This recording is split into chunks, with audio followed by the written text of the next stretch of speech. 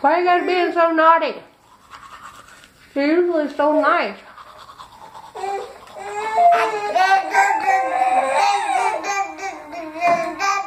Really?